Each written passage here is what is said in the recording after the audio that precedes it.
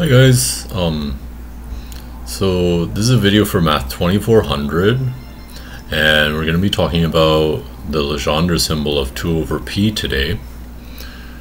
And we, kind of our goal is to get a formula for it. Okay? Like a formula in terms of p. Okay.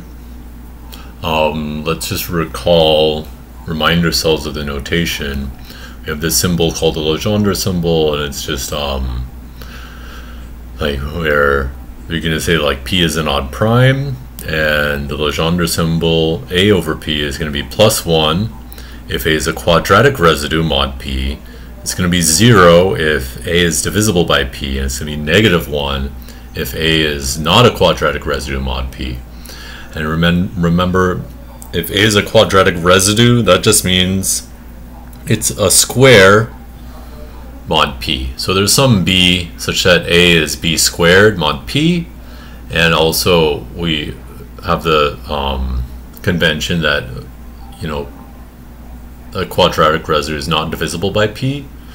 Okay. So that splits up um, the units mod p into half quadratic residues and half non-quadratic residues and QR that's for quadratic residues and NR is that's for not quadratic residues. Okay. Then we have a few formulas which I should remind you of. Right. Here, um, P is going to be an odd prime. We have the formula for the Legendre symbol. A, the Legendre symbol of A over P is just A to the P minus 1 over 2 mod P. Okay. Um, course, this is kind of like, depending on what P is, this may be not that useful. But it's we have it. Okay, and then that gives us a formula for um, like the Legendre symbol of negative 1. It says the Legendre symbol of negative 1 mod P is negative 1 to the P minus 1 over 2.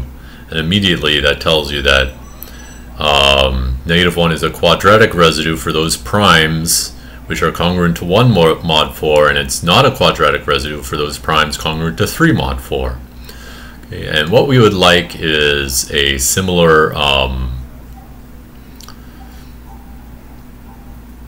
a similar kind of classification for 2 instead of negative 1. Okay. And how do we do that? Well, we're going to use this thing uh, called Gauss's lemma. So first we start with our set S, and this is the integers from 1 up to p minus 1 over 2. And then we have, we just have like a little proposition that just tells us that every element, every unit mod p can be written as either 1 or negative 1 times an element of S. Okay, so let A be a congruence class mod P. Then there exists unique epsilon either 1 or negative 1 and and unique S in S such that A is epsilon times S. Okay. Or if instead you have an integer not divisible by p, you would say like a is congruent to epsilon s mod p. Okay, so this is inside of the units mod p. Okay, and just like uh, to give you a quick idea, okay, proof, right, um, first just divide a by p, so write a equals qp plus r. Now if r is less than or equal to, like if r is an element of S, we're done. Okay, and here we're taking that, um, we're assuming a is in up, so p does not divide a, so in particular r is non-zero. So in this situation, we're using long division, we have r is in the range from 1 up to p minus 1. Okay, if r is less than or equal to p minus 1 over 2, just take s equals r. Now, if r is greater than p minus 1 over 2, well, let me rewrite that inequality a little bit more carefully. p minus 1 over 2 is less than r is less than or equal to p minus 1. Okay, so what about um,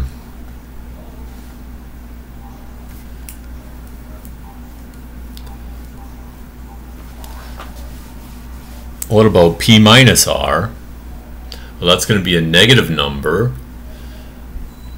Um, okay. Oh, sorry. No, that's that's going to be a number. We want to see that p minus r is going to be a number between um, 1 and p minus 1 over 2.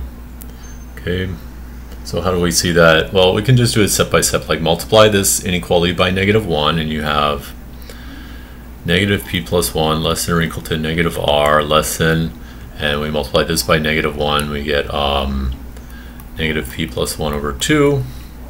Now add p, we get 1 less than or equal to p minus r, and add p to this, and what do you get? Well, you get um, less than p plus 1 over 2. Okay, but a number that's less than p plus 1 over 2 is less than, like, it's an integer, right? So this is an integer, so a number less than it is, like, at most p plus 1 over 2 minus 1. Okay, so what we can say is that 1 is less than or equal to p minus r, which is less than or equal to p minus 1 over 2. Okay. And now, but then a is just qp plus r, which is, we can replace with qp um, plus negative 1 times p minus r plus p in other words, q plus 1 times p plus negative 1 times p minus r. And so mod p, a is negative 1 times p minus r, negative 1 times a number in S.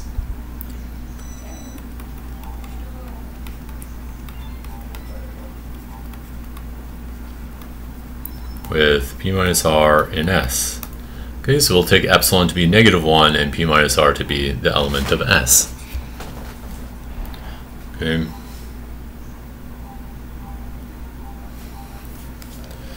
And the only thing left to do would be uniqueness. Um, so that would mean like now suppose, you know, we have epsilon times s congruent to epsilon prime s prime mod p. Okay.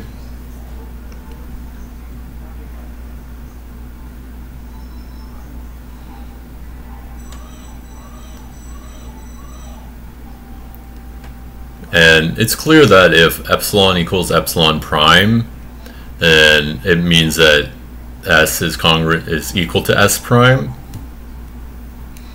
So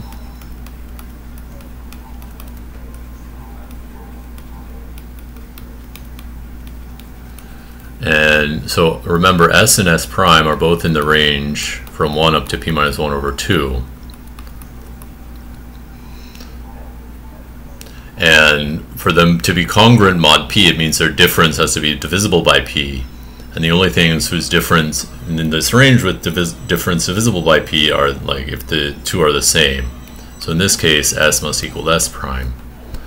Okay, now if um, one is one, if one is negative one and the other is one, then we have, so if epsilon is not equal to epsilon prime, we must have then s plus s prime is congruent to 0 mod p.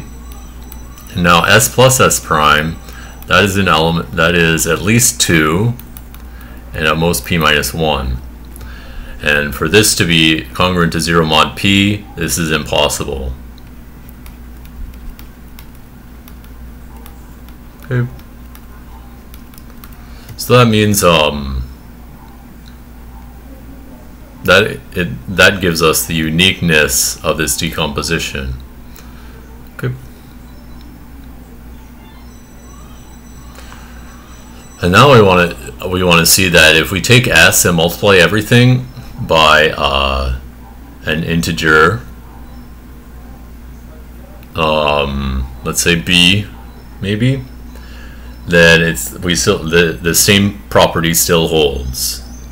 Okay, so now let's write another proposition. So that completes the proof of our kind of uniqueness, right? And now let's take s prime. Oh yeah, first let's fi fix b such that the GCD of b and p is 1. In other words, p does not divide b.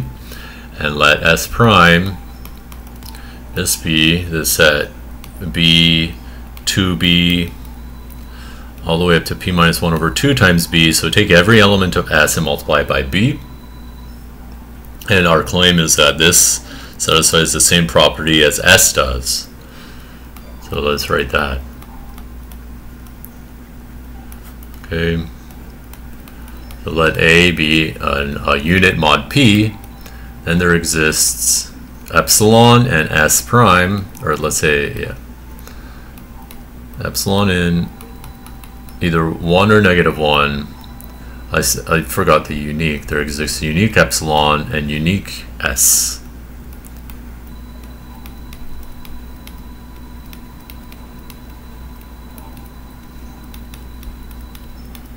Okay, and let's let's prove this. I guess it might be a little bit tedious, but that's okay.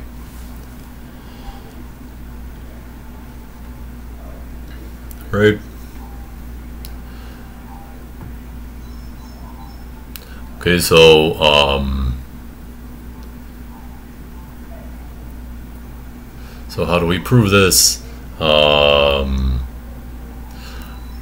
we must solve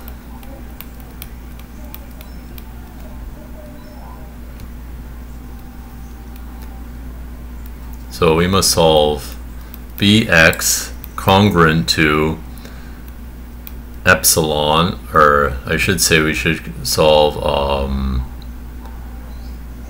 epsilon bx congruent to a mod p where we have two variables at our disposal. We have epsilon, which can be in 1 or negative 1, and we can have x, which must be in s.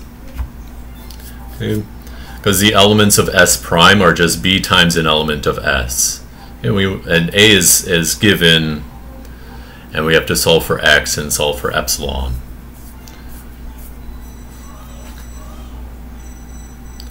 Okay. But um, remember, b is not divisible by p, so there's uh, inverse to b. So um, let b inverse um, be be such that b times b inverse is congruent to 1 mod p. Excuse me and multiply this equation by b inverse. So you get epsilon b inverse b x congruent to b inverse a mod p. And b inverse b is just 1, so you solve epsilon x congruent to b inverse a mod p. Okay. Now b inverse a, that's a unit mod p. And we know that uh, given a unit mod p, there exists unique epsilon and unique, unique x or um, I guess I should have said S in S, but oh well, I've used X already. So um, by the previous proposition, there exists unique epsilon, either 1 or negative 1, and unique x in S such that B inverse A is epsilon x mod P well, the uniqueness stays, and then that implies that we can write A as epsilon times bx for unique bx in S prime and unique epsilon.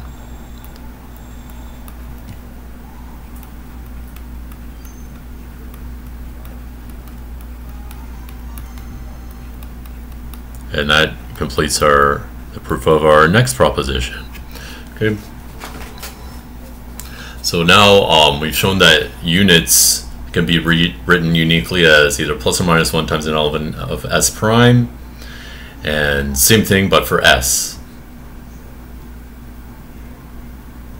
Okay, so that brings us to Gauss's lemma. Okay, so um, let's let's make a little definition. Okay. You play, Daddy?